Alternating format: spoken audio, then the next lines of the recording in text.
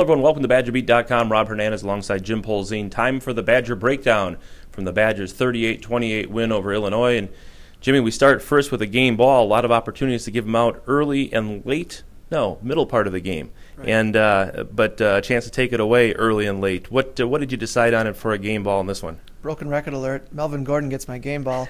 um, he was the one guy that was pretty solid from start to finish. I thought, you know, another strong game running the ball, uh, four touchdowns, 175 yards tough not to uh, give him the game ball in this situation. Although in our thumbs up, we'll we'll get to the guy, the other guy I was considering. All right, uh, we'll go right to that thumbs up, uh, so you don't have to wait around and find out uh, with bated breath who that would be. I kind of got a feeling it's another guy who carries the football. Right, yeah, the, his backup Corey Clement, who uh, I feel a little bad because he averaged 12.6 yards per carry, had a career high 163 yards. You know, two really big runs in the second half kind of catapulted him. But again, it was tough to uh, it was tough to not give the game ball to Gordon. We probably should have seen this coming a little bit because Illinois has got one of the worst pass or excuse me, one of the worst rush defenses in the country. Sure. UW's got one of the strongest um, running games in the country, so this was predictable in a lot of ways. Uh, so to see Gordon and Clement go off as a, a, one-two punch today wasn't all that surprising. But I can assure you, Jimmy did not give out that uh, game ball or that thumbs up before the game. He actually waited to make sure it would happen. Thumbs down, Jim. I hate to ask, where are we going with this one? We're going with the punter. I feel like I've been a little tough on special teams, okay. but I feel better about this pick because Gary Anderson, you know, said after the game that the the special teams is not acceptable. And you know, he, he mentioned without mentioning Drew Meyer's name, he mentioned you know Meyer's performance. There were a couple times where they really needed big punts out of Meyer to flip the field, and he wasn't able to do it. Two 35-yard efforts in the first half, and Illinois took advantage of great field position, ended up scoring. So you know, Drew's off to a, a real tough start uh, this season, and I'm not really sure why. Uh, they need him to figure it out because field position plays such a huge role in this game, and and you know they need him to kind of flip the field in some circumstances. All right, time to look at how they see the game, and we'll start first with the Badgers. And the Badgers probably can look at this a number of different ways. Some positives at different points in the ball game, but boy, 38-28 at the end of the day may not be what uh, they were looking for. Yeah, and I totally forgot what I wrote. I'm totally cheating here. Uh, That's fine. Yeah, we'll, sorry. We'll go, we'll go to a the... couple hours ago. Oh, oh, so my line was okay. This Read victory, it to us, buddy. This victory was about as stylish as Vince Biegel's mullet. Oh, there you go. So nice unless you're a mullet fan, which there's Yeah. probably some mullet fans out there, uh, I think these guys know, and I think what I heard one of them say afterward that it was clearly not a, a, a pretty victory. They used the word ugly to describe it. Mm-hmm. So when you beat Illinois, a team that's really struggling by only 10 points, uh, you're kind of left with a, a bittersweet feeling in your mouth.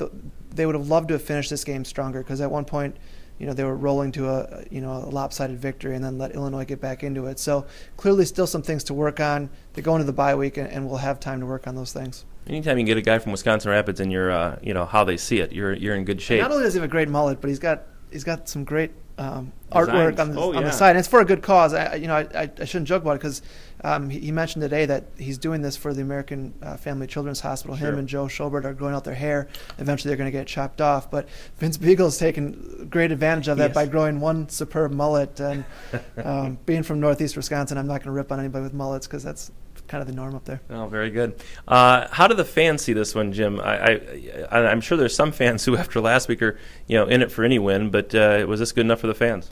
Well, I think the one thing, whether it's fans or media, has to think uh, after another game like this is where would this team be without Melvin Gordon? It, it's scary to think because he's really, and I wrote about this a couple weeks ago. You can't. There's not a lot of real great players on this team. There's one, Melvin Gordon, and then there's a lot of other decent players, good players. Uh, but without Melvin Gordon, I just can't even imagine how this team would be because they're struggling with him. Frankly, he, he's he's he's been a, a one man wrecking crew now for several weeks, and um, so without him, I can't imagine where they'd be. They'd probably be Illinois. That's true. That's true. And speaking of that, the pollsters, um, the Badgers fell into the great abyss outside the top 25 this week. I don't suppose a 10 point win over a team like Illinois is going to do anything to improve their stock. No, they're probably off the radar, no matter how strong that radar is. And and frankly, you know, those people that look in the bottom line or in the newspaper tomorrow morning and see a 10 point victory over Illinois are not going to be impressed. This is the same Illinois team that lost by 31 points at North, at Nebraska a couple weeks ago. So it, it was a chance for UW to kind of make a statement with a, a lopsided win and didn't do that. They're happy to get any win at this point, but certainly a lot of things to work on, and, and not one that's going to you know raise eyebrows across the country, except for the wrong reasons. All right, we're in a bye week this week, right? I hope so. Basketball practice on Monday, open practice, so I'm kind of switching over into uh, hoops You're, mode. you're going to break down some other stuff here Right. very shortly. For Jim Polzin, I'm Rob Hernandez. Thanks for watching the Badger Breakdown. We'll see you again down the road.